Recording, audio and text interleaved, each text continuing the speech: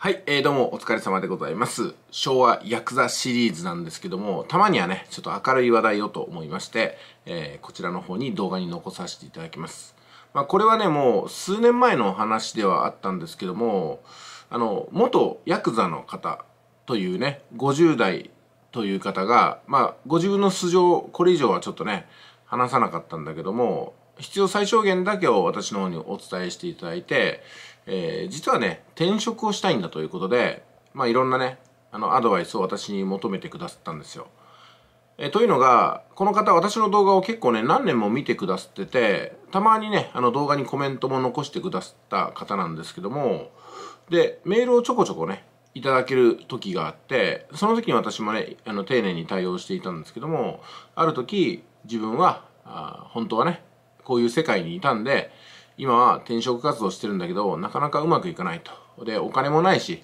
で、家族もいるんだけども、本当に苦しい思いをさせてるんで、まあ、なんとかね、月収100万を稼いでいきたいんだっていうね。まあそういったやり取りをしていたんですよ。で、その中で、私はね、うん、あの、ちょっと厳しい言葉だったんですけども、まあね、月収100万とかって言ってる限りは転職活動うまくいかないですよと。ハローワークなり転職情報誌の中に月収100万なんてのありますか？せいぜい20万とか30万でしょ？じゃあ月収100万稼いで家族にね、報いたいって気持ちは、それは持っていていいんだけども、当面月収100万のところ一発で採用されようなんてことは捨てることですと。まずは20万30万いやもっと言ったらね15万でもいいから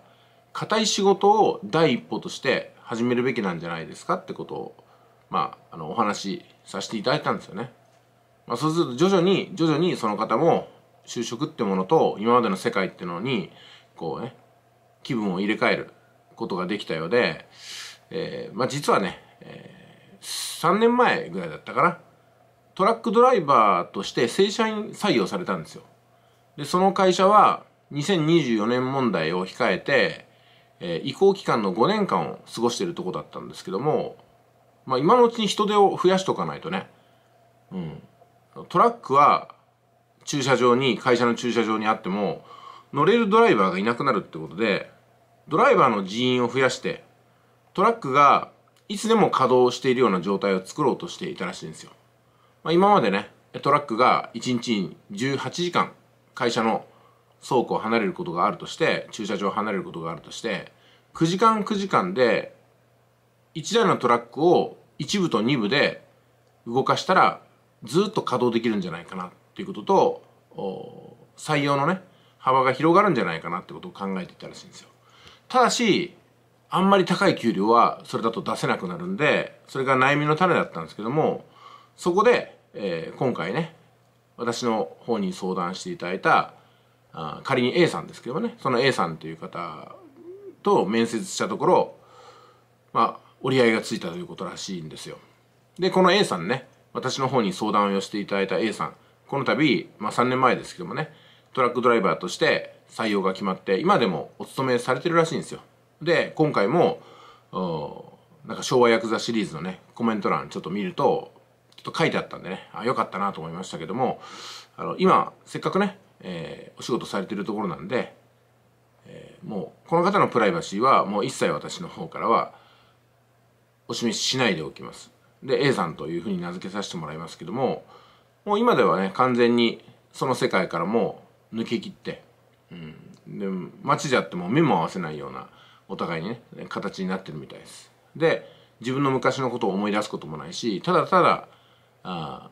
今を一歩一歩生きて家族とそれから将来のために自分の人生を作り直してるとこらしいんですよ。まあ、転職活動されてる時は年齢と経歴がネックになってなかなか見つからなかったと。そして何度も何度も面接に落ちて自信を失いかけたこともあったんですが、まあ、そんな時にね奥さんが声をかけてくれたらしいんですよ。あなたには人のために一生懸命働ける強さがあるでしょと。だから諦めないでと。うんまあ、あの身近な愛する人からねそういうことを言われたら勇気が出るでしょうねでまさにそこで任侠なんですけどもこんな風に自分のことを思ってくれるうだつの上がらない自分に対して信頼をしてくれる唯一の宝物にやっぱりね報いなきゃいけないってことでもう3年以上その転職活動をコツコツコツコツ続けたそうなんですよ。で足元では日銭も稼がないといけないのでやっぱりねきついアルバイトをしながらそれから元いた組織の方にも筋を通しながらやっていったらしいんですね、まあ、そういった奥さんの言葉に支えられてこの度3年前ですけどもね運が舞い込んできたと。先ほどお話したように会社の体制を2024年問題にこう見据えてね変えようとしていたトラックあの運送会社での面接を受けて自分はもともとこういう仕事についていたんだけども今は完全に、えー、そこから抜けて足を洗って心を入れ替えて何年も転職活動してるんですと。そして私には絶対に諦めない命を懸けてでも会社のために働いてきたという実績はあると。そこを見てくれないかってことだったんですよ。でこの年なんで今度ついた仕事からは離れないようにしていきたいと。人生をやり直すためにチャンスをくれませんかってことをね切々とお話したところそれがね経営者の胸にこう響いて過去はいいんだよと。俺たちトラックドライバーもいろいろあったからねと。一緒にやっていこう。同じ方向を見ていこう。っていうことで意気投合したらしいんですよ。それから今はねあのもう結構中堅どころでドライバーとして働いていて今度廃車っていうねあの車をどういうふうに活かせるかっていうことにも関わっていくそうなんで初めて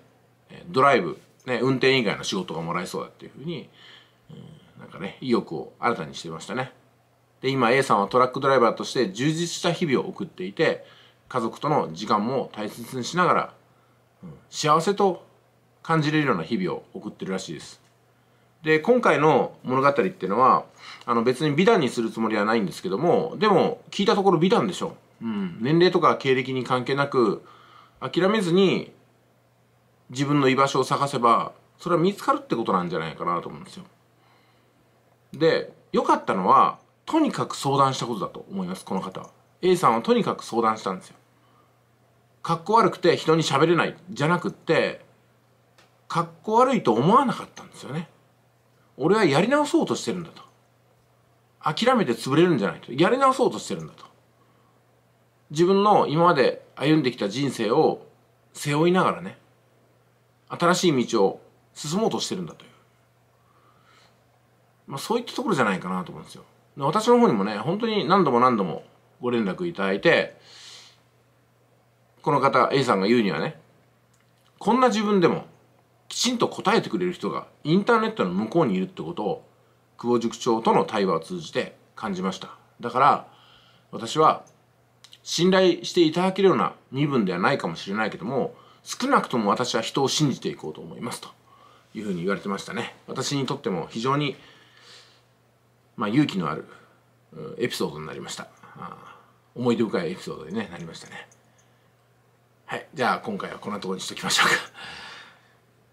A さん頑張ってください。もう連絡くださらなくても大丈夫ですからね。